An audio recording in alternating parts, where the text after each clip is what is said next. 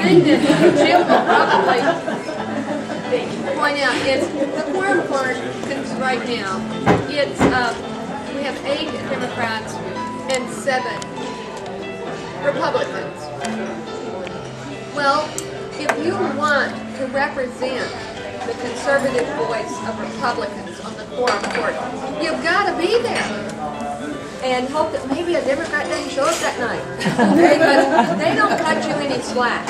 If the Republicans ask for time to get more documentation, to, so they can uh, make a more intelligent decision about things, uh, Democrats won't even let them table it, so they can gather the information they need to make a good decision.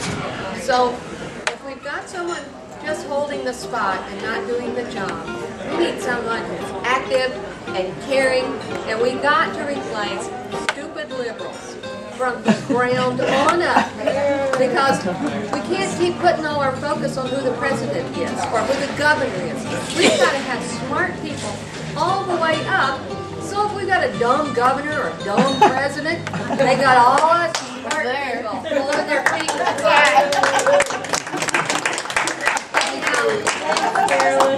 Thank you for your encouragement.